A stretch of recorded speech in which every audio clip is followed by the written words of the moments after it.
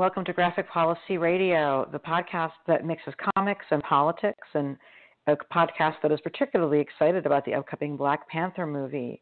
Uh, we have a special guest who will be joining us in just a few minutes. Uh, his name is Bambadjan Bamba, and he's joining us today to talk about being an undocumented immigrant uh, and an actor. He is an actor and filmmaker who immigrated from the Ivory Coast uh, with his family that was fleeing political persecution in 1992. Bambadjan made it through drama school and is now a series regular on NBC's The Good Place. And we'll soon be seeing him in Black Panther, the next Marvel movie, which I know is going to be a huge blockbuster. Um, because of the uh, age he was when he arrived in this country, uh, Bamba is qualified for a Deferred Action for Childhood Arrivals program that Obama started that would that allowed people who were brought to this country as children uh, to have a status that would prevent them from being immediately deported, um, and uh, that was abbreviated in called DACA or DACA. Uh, but his immigration status is now in danger due to the Trump administration's announced repeal of the DACA program.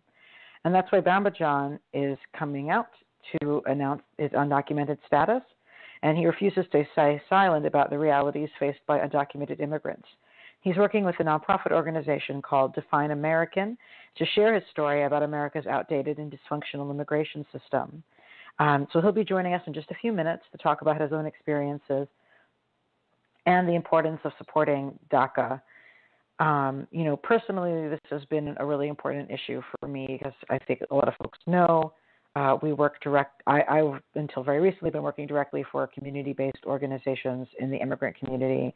So I know a lot of young people who uh, have DACA, and these are folks who've lived in America for pretty much their whole lives. Um, some of whom knew that they were undocumented, uh, meaning that they knew that they didn't have the proper paperwork in order. Um, some of whom did not know that until they were applying for college and things like that, um, or for work or to applying for jobs, uh, but all of whom um, were able to get at least a temporary protected status of sorts uh, through, under the Obama administration um, that enabled them to do things like work above the table rather than under the table and go and get additional education, uh, although they were not allowed to get um, any kind of public education credits. They weren't allowed to get any kind of public education loans, meaning that all the young folks I know who have DACA were paying for college on the, on their own with their own work, and it's incredibly hard, as you can imagine, to pay for college um, without grants and without funding. Um, so yeah, immigrants are not quote taking our college money quote. They're actually like not able to get it legally. Um, so anyway, all these young folks working really hard to take care of their families and to do what they needed to do to do, take care of their families. They, you know, came forward and they provided the federal government with documentation to show how long they'd been in the country, what they'd been doing here, to demonstrate that they didn't have any criminal history. And in exchange for coming forward, uh, they were given temporary, uh, they were given a, a, a paperwork, um, a, a deferral that meant that they could stay in the country without facing deportation, and they could speak about who they were, and they could be uh, apply for jobs above the table and, and things like that. Um, and then Trump came into office uh, basically declaring that America was only for white people who were Christian and, and straight and had lived in this country since, you know, I don't know, the turn of the century. It's hard to exactly figure out when his notion of the cutoff for making someone American ethnically begins or ends. But um, when he announced that, it was clear that uh, the DACA immigration status for folks was going to be on the table. Um, you know, in his campaign, he said that they were only going to go after the quote bad hombres quote. I, I mean, it's like a slur to even say that. He claimed they were only going to go after immigrants who are bad people, but the reality we know is that who decides who's a good person and a bad person is a very objective and disturbing question. And we know because people who are in this country who haven't done any real crimes and haven't hurt any and haven't hurt anyone have already been on threat under threat of deportation for years, even under Obama. We knew that there was a strong likelihood that there would be uh, immigration status for DACA would be would be ended, And in fact, um, they are going to be ending it at the end of the year unless Congress votes to extend DACA. Um, you know, the thing is, like, if there's one group of immigrants that some Republicans have been willing to listen to, it's been DACA recipients. Um, and so there really is a chance that uh, the Republicans might relent and listen to what church leaders are saying and listen to what voters are saying and uh, allow the extension of DACA. But we don't know that for sure. And that certainly won't happen without there being a mass mobilization to force that legislation to happen. Um, this last week, we saw hundreds of people in Washington, D.C. Um, get to protest, um, and there were, gosh, I should check on this. There were really dozens and dozens of folks who did civil disobedience um, in front of the White House, meaning that they went to protest and took arrests in order to make a statement about how dedicated they are to fighting for immigrant rights. Um, it was a huge action. We saw lots of press. You probably saw some really powerful photos of young people and allies. Um, you probably heard folks chanting things like undocumented and unafraid. And that was all in order to show the public groundswell of support for DACA and for immigrants you know, it's interesting that the majority of the public actually has a positive view of immigrants. The way politicians talk about immigration as a quote debate quote, you would get the feeling that there was something really controversial about supporting immigrants. And it actually isn't. That's not to say that everyone in this country agrees with me and thinks that um, all immigrant rights should be recognized, but immigrants are actually far more supported than uh, than a lot of the media coverage is led to believe. So I'm, I think I'm being joined right now. Um, Bambadjan, is that you? No, I'm not Bambadjan. I was just listening to the program. Oh, sorry. I thought they were calling in. Um, I thought you were calling in uh, for the show. Mm-hmm. Um, but on your topic, I I uh, contend that uh, people that in this country that doesn't have a visa and not documented to be so, they need to go. They have to go. If I was in Ivory Coast or Cote d'Ivoire, as it is also called, I would have to have a visa to get into that country. But America is country. a country that has always had large numbers we of immigrants. Don't, American has my, laws. You know what?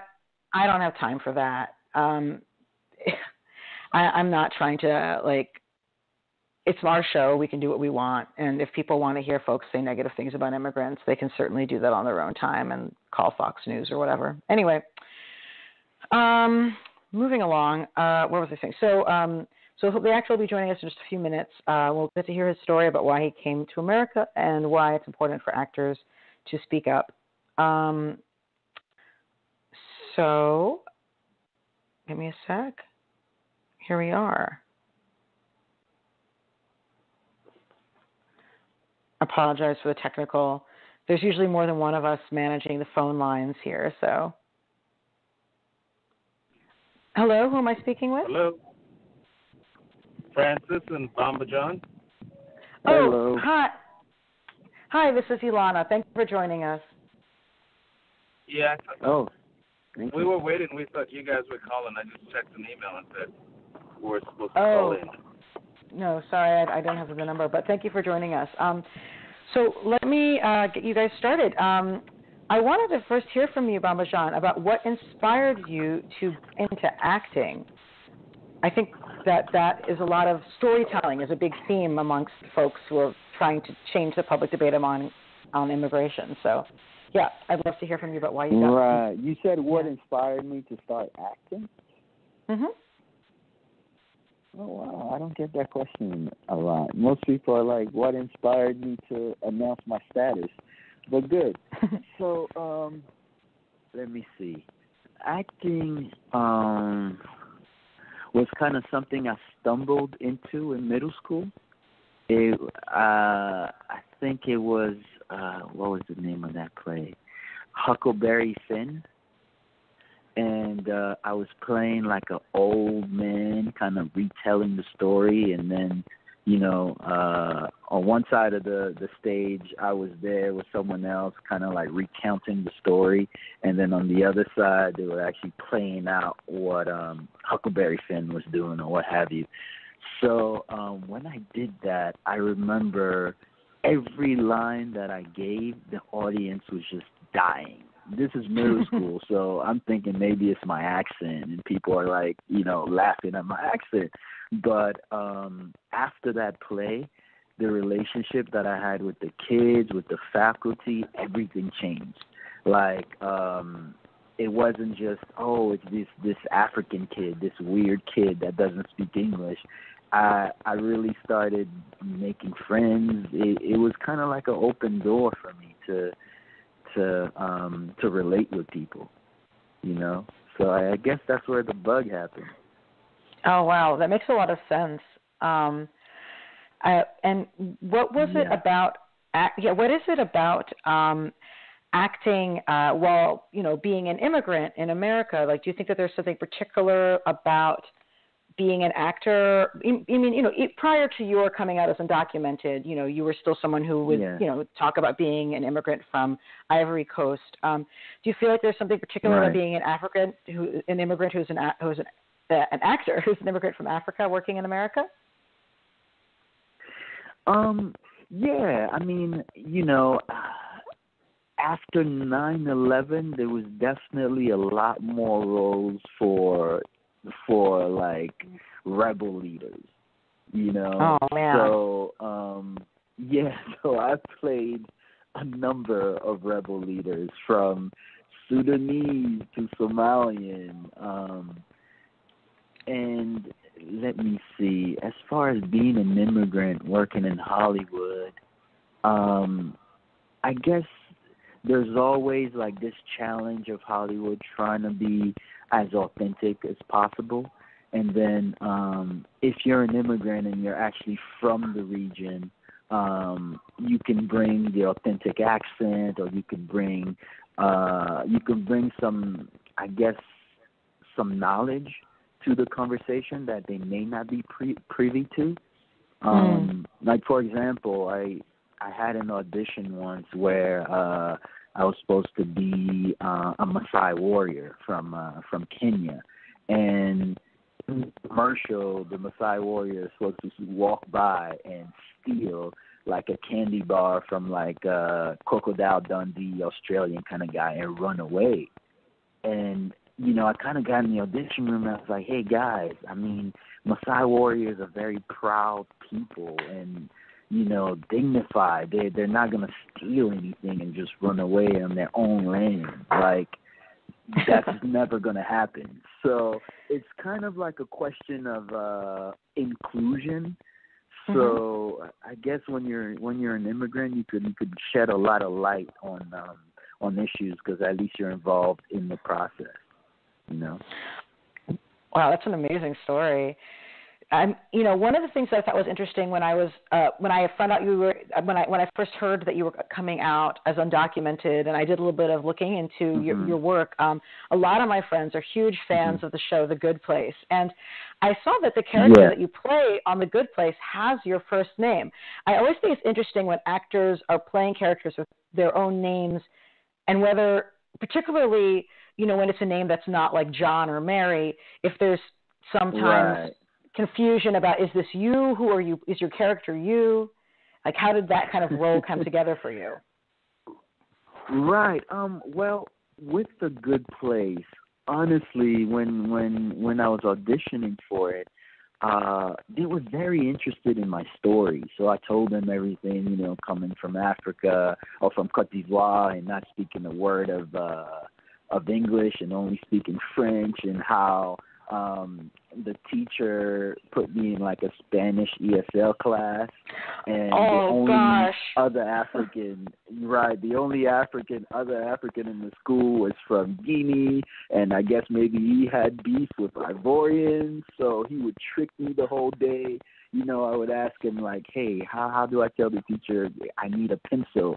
He goes, Kiss my ass So then I oh, say kiss my ass, and then uh, everyone's dying, and I'm in trouble.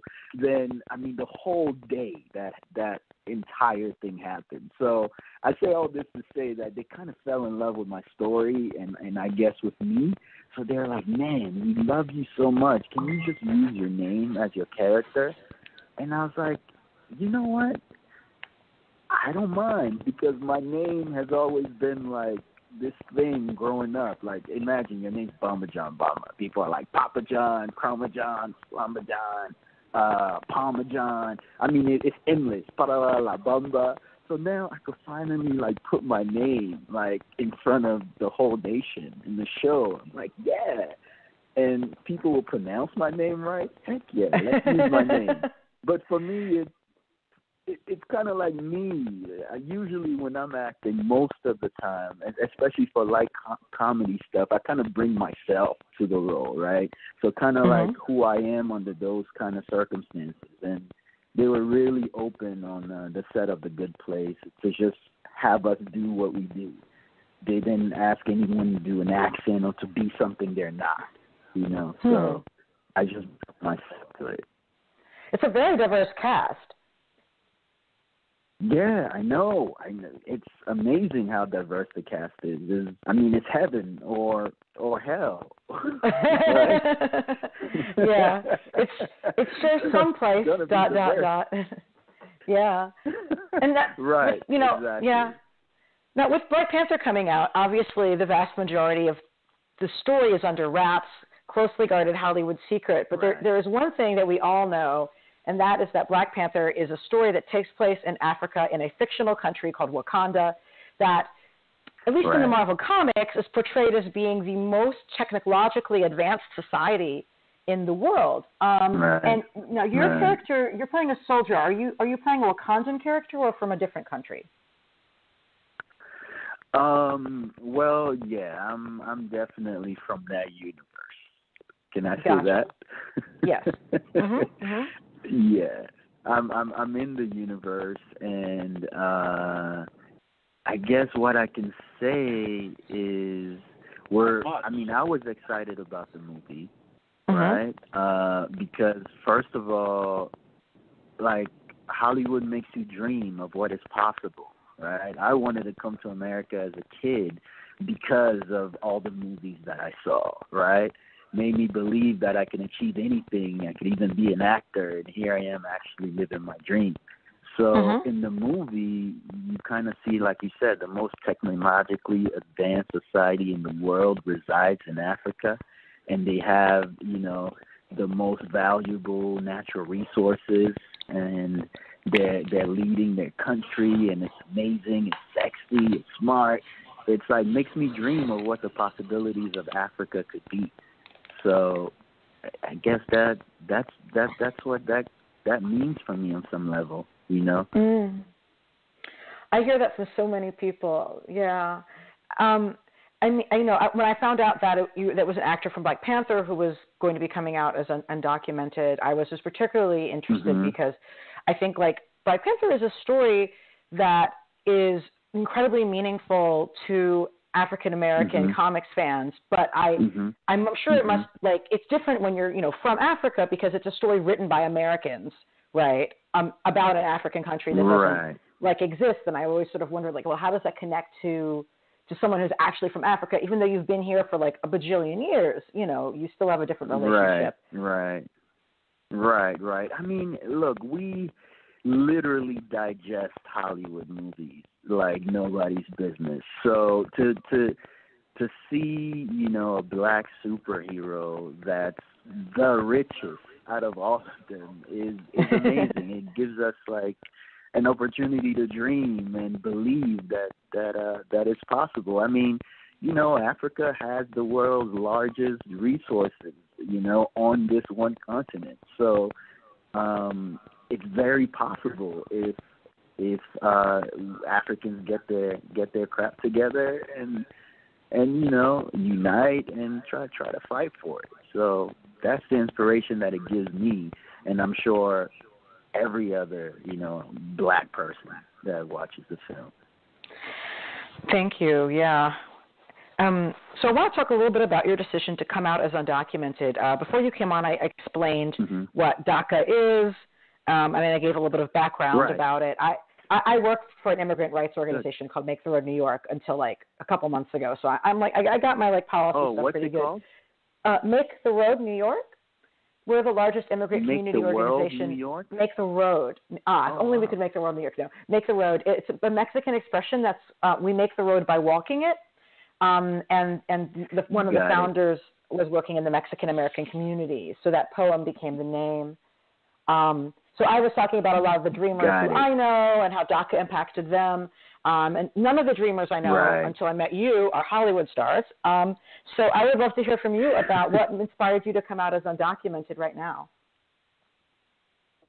Well, um, really, what inspired me is two things, right? Um, and I guess the word is inspiration is like such a like it, it just feels like a positive word to me, right? Like you you you get inspired to create this amazing art because you see another piece of art. But for me, it was more like there there was really a lot of fear because Mhm. when the administration decided that hey they're going to cancel DACA, I looked at my daughter who who just turned one and my wife and I'm like man if I sit back like I've been and and hide and stay in fear, then this thing could really be canceled and my life, my career could be in jeopardy. I could be separated from my daughter and just the thought of that made me just kind of like get off my behind and and uh in light of the fear still step forward and uh try to do my part to to make a difference especially when I mean over the years I'm seeing like all these brave undocumented youth just you know protesting at the White House, you know getting themselves arrested, speaking out like Jose Antonio Vargas, you know, Mhm. man, I have to do something. I've just been pressing snooze for a long time and then uh that decision to cancel DACA forced me to to do something. Do you think that there's something particular about being an actor um, who's speaking out about DACA that uh, impacts how people view the legislation, or, or dreamers themselves? Um, yeah, I mean, on, on one end, I mean, you know, being an actor in Hollywood and prominent film and TV shows um, gives you some kind of a platform. I mean, I'm definitely like still taking in how fast this story's moving around and how people are interested. Uh, I, I'm really amazed by it, and definitely I, I credit you know Define American for the work they've been doing and the relationship they've built to help kind of like amplify this message. Um, but I, I guess I'm the first one that came out in the entertainment industry as undocumented. And since I have, I've been receiving messages from you know other actors who are SAG, who are in the industry, and they're like, "Man, so uh, as a fellow undocumented actor or filmmaker, you inspire me. Thank you for speaking out on our behalf." And um, you know, the entertainment industry has kind of been quiet, even Mhm. though um, there's there's so many um, immigrants who are working in the industry, like you you hear from the tech industry, from education, from um, uh, all industries, literally except the entertainment industry. Like they're they're stepping up for um, the immigrants that work for them, like CEO of Microsoft, you know, Apple, Facebook. Um, they're they're holding panels. They're uh, they're paying for legal fees. They're lobbying Congress. They're writing letters, and I'm just hoping that. I- I mean, I could encourage Hollywood to do the same thing, to use the Mhm. power that they have to to to lobby Congress to to make make change for um so many immigrants that actually work in the industry. I mean, one of the big things is that Hollywood is the number one generator of stories in the world when it comes to the scale at which they're shared, right? And you know, I, I think like you were talking about, um, that you know, that you were sharing your own story. I- I think it was in the video that you made with Define American. You were saying that you were sharing mm-hmm. your own story so that everyone in, who in America could feel like they know someone who is undocumented. I mean, I, I would yes. say a huge percentage of Americans probably do know someone who's undocumented, but um, but they might not know. Not everybody, right. you know, is public about their status. Uh, but that because you were, uh, you know, you're a storyteller, so like your story about being undocumented could mean something to people who might not know someone already. Yeah, absolutely. I mean, especially when you play a character that they love, right? Inside mm-hmm. their their television, inside their apartment or house. And um, you know, they they grow to love you and then when they find out your your real story, they're like, Wow. I mean, I, I think what it does is it shatters a lot of stereotypes because, you know, we're we're we're not just, you know, from Mexico or Latino, we're from mm-hmm um, everywhere in the world. We're, we're, we're from Africa, from the Middle East, uh, from Asia, uh, even from, from Europe. And, mm-hmm. um, you know, we, we've achieved a lot of amazing things. And all we're asking is uh, just give us an opportunity to continue doing so, to continue um, giving back. You know, uh, the the the government kind of said, "Hey, give us um, all your information, uh, give us your fingerprint. We'll we'll do background checks and make sure you're legit. Pay us this much, uh, five hundred bucks every every two years to get it renewed. And mm-hmm. we've done that, and we've gone above and beyond as far as achievement is concerned, as far as employment. People bought cars, people bought homes, people have jobs, and are kind of like bread breadwinners for their family. And now, you know, the administration wants to cancel that. They want to destroy lives. Like I, I keep telling everyone, it's it's it's a human rights issue. Um, mm-hmm. You know, the the president and the country made a promise to us, and we're we're just fighting the hope in the hopes that they will honor that. You know. Yeah, I you know I, I heard a news rep- uh, a news report when the person and uh, the newscaster said something about well we're you know we're talking with the the beneficiaries of DACA, but I just want to like reach into the computer mm-hmm. screen and be like we are actually all the beneficiaries of DACA. Like I you know I was born in America, exactly. but I'm a beneficiary of DACA because I get to have coworkers who were, you know, DACA recipients, and I got to watch, right. you know, TV and oh, movies man, that have people with DACA amazing. in it right? Like we've all yeah, benefited. Yeah, yeah. Right. We've all That's benefited from the point. program. Absolutely. That's true. I mean, my if you talk to my neighbor, she's she's this um older lady. I, I love her to death, um, and she loves my daughter to death. Oh my God, just just and whenever my daughter sees sees her, she's smiling, and that just makes her day. so she's older and she's kind of alone all the time, and I kind of built like this little garden in front of our our house or our apartment so that she can have something to do. So we have this common thing. We talk about the flowers. I, I'm like, hey, you got to water. She's like, what do you think I am? You know, you think, you know, I'm just here to water the flowers. So we kind of go back and forth, and it's fun. But that's true. I guess she is a beneficiary because due to DACA, I'm able to to kind of um be here and have have time to you know relate with her. Do you like how much? I mean, I don't really want to say like a percentage, but like, do you think that there's a significant population of actors who are undocumented in America? Um, I know that the entertainment industry is the number one employer of of of immigrants in California. I think the number is like 150,000 people, and that's hmm. just one, that's one industry. So wow. um, I would say yes. I would say there's definitely a large number. I would say you know at different levels. You know, people in front of the scenes, behind the scenes. Um, you know, but uh, again, a lot of people don't want to really talk about mm-hmm. that or risk their career or risk kind of like their livelihood. Um, but I just felt like um, yeah, I had to because I didn't.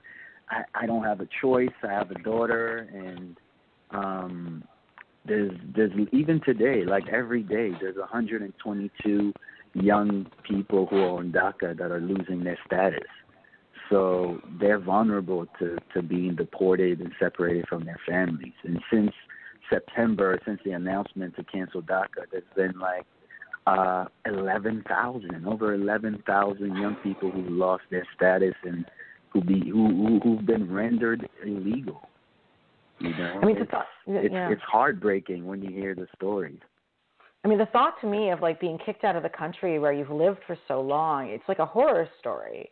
It's like some it's like some Kafka it, story, you know? Yeah, it's I mean, I I can't even imagine like, you know, you you're here, you speak English, you know, you you know how the system works, you build a life, family here, and now to just be said, hey, you have to go back. It, it just it's it's cruel. It's un-American. I mean, I love America to death, but um, that that that doesn't um, doesn't reflect the America that I love, and I know that a lot of us love.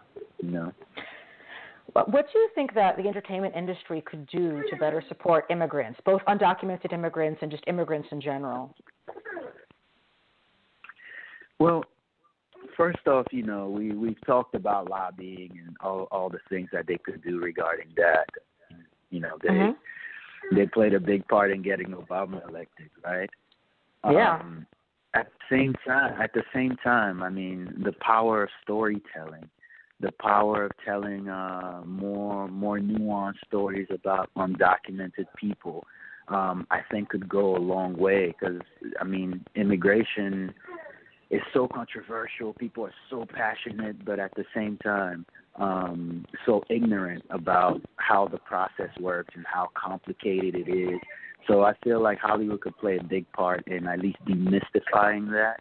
Um, mm-hmm. You know, we can hold panels, we can have conversations, we can, um, you know, do PSAs b- before Black Panther comes out. I don't know. yeah, I want to see that. Um, I want to see there's, that. There's a lot that that that we can do, and you know, I, I really hope that this message gets so big that. uh you know the studios and the big production companies are just like wow we we we just can't stay quiet anymore it's, it's we we have to do something and now you've launched a petition with Define American um, that is something yes. that anyone can sign. Want to talk about it a little bit about that? Yes yes absolutely. Thank you so much for reminding me. I'm always like uh, I, I i talk about the story so much i forget. It's um, so you can go to defineamerican.com forward slash Bamba, and that's B A M as in Mary, B A.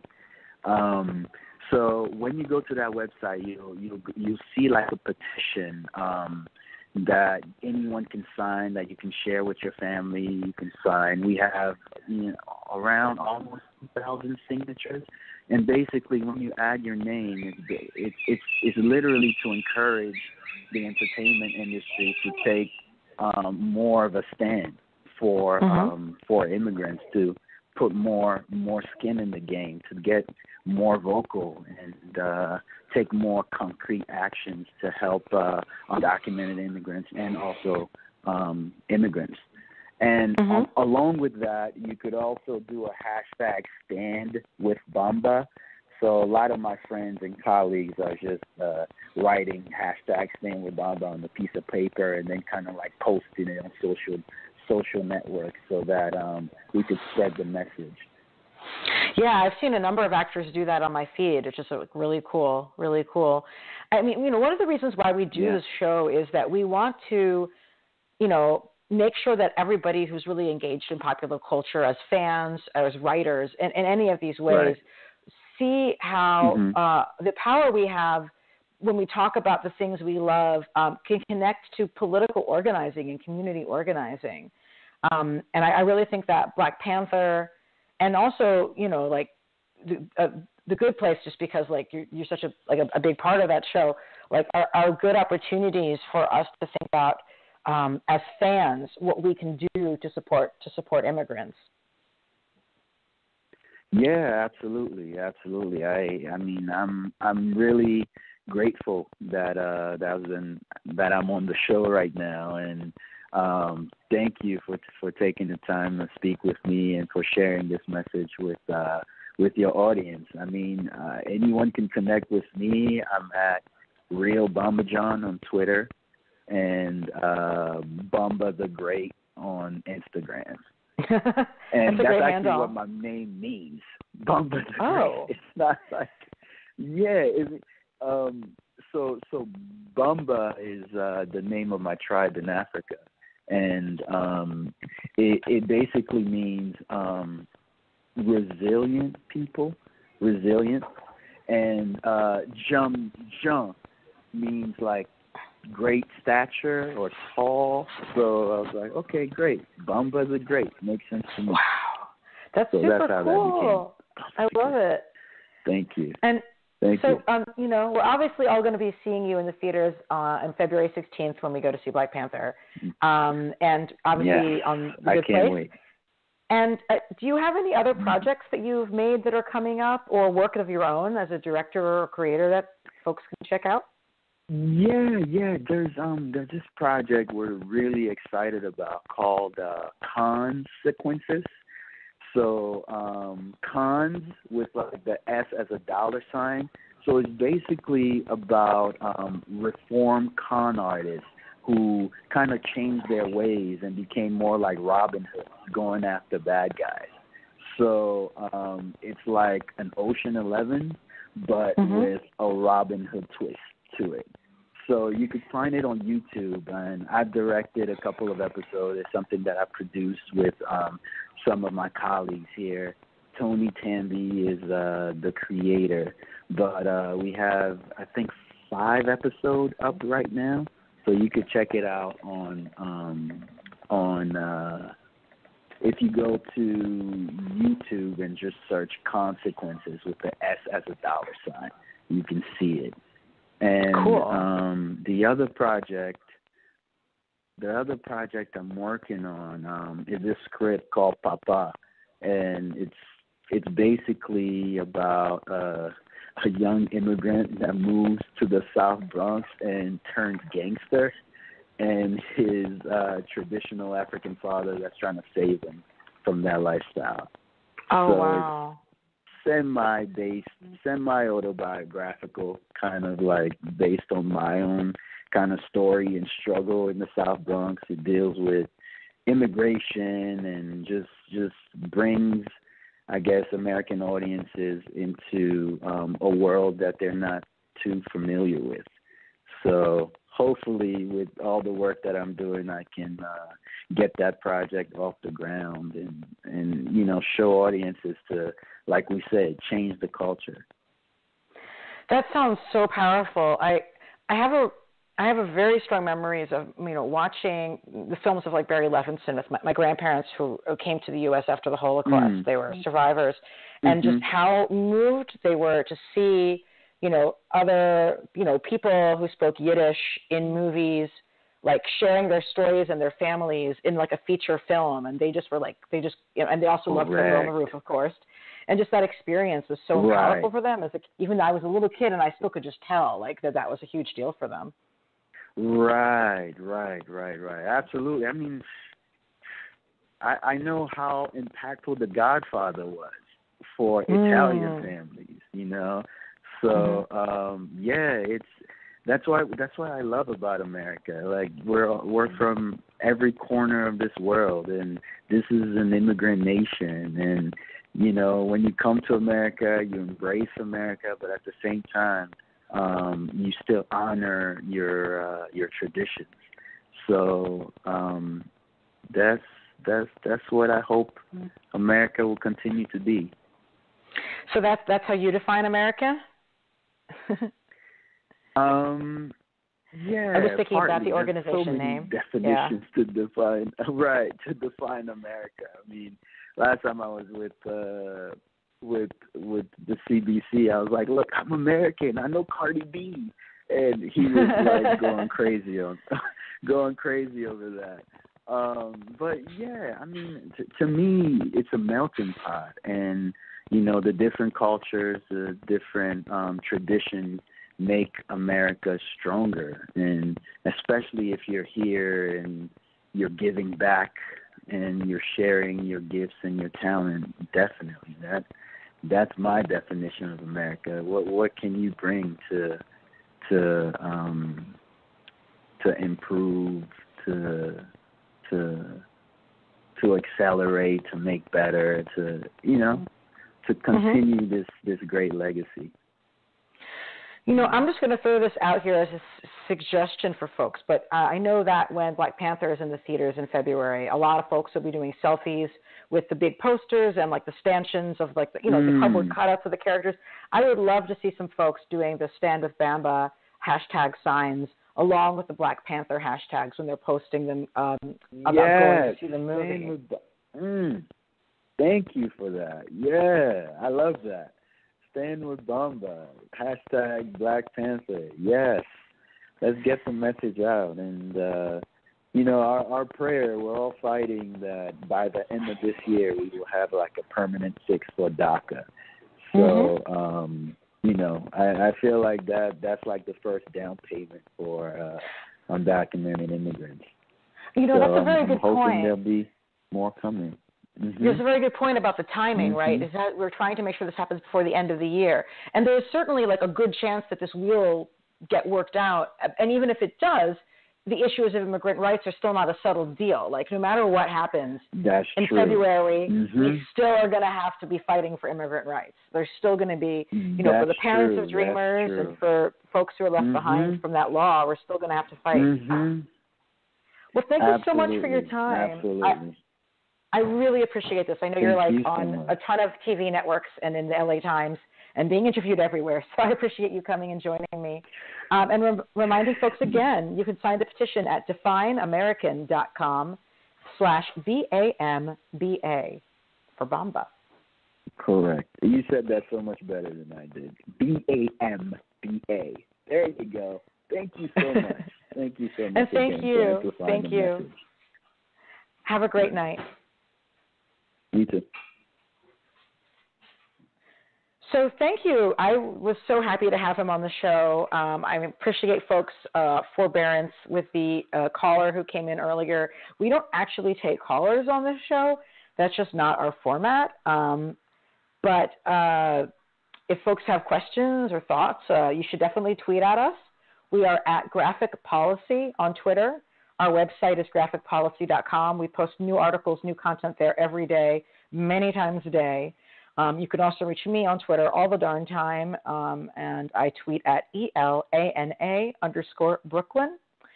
Um, so, so yeah, you know, I hope this story connects for folks. I, you know, I know our listenership is predominantly not people who are sitting there like thinking, oh gosh, I hate immigrants, I'm a huge bigot, blah blah. That's, that's not really our organization base, right?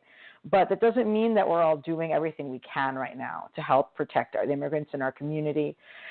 And no matter where you live, there is going to be, well, I shouldn't say no matter where, chances are, if, if you're listening to this, statistically speaking, where you live, there's going to be some organization that'll be a community organization that supports immigrants that could use your help now. Um, whether it's doing uh, small volunteer tasks or whether it's joining them to call your lawmakers. And like, believe me, people, call your lawmakers, do this, show that this is a priority like even if your lawmakers are Democrats, they might not have protecting DACA be a top priority for them. And there are even some Democrats who are stinky on this issue, frankly. Um, you know, call your call your lawmakers, let them know that you support immigrants, and look at the organizations in your community to see who could use your help. Uh, there's always going to be rallies and actions around the country. They're not just in Washington. You don't just have to go to D.C. There are going to be lots of opportunities for you to stand up for immigrants in your community everywhere you go um, and just letting people know that you, they can count on you and that you support them really matters a great deal. Uh, so thank you for listening. Thank you for joining us, and we'll be back next week. And uh, between now and then, you know, you've got your assignment. Go to Define American slash Bamba, sign that petition, do a social media post with hashtag Stand with Bamba with your photograph. You can share your own story about what immigration means to you or how excited you are for the Black Panther movie. These are both completely legitimate things to share about on the hashtag. Uh, and I will see you all next week. Thanks. Oh, and this episode also will be on iTunes and Stitcher and SoundCloud as per usual in case you tuned in late. So you'll be able to listen to us there. And please share that link and get the message out. Thanks again. This has been Elana and Graphic Policy Radio.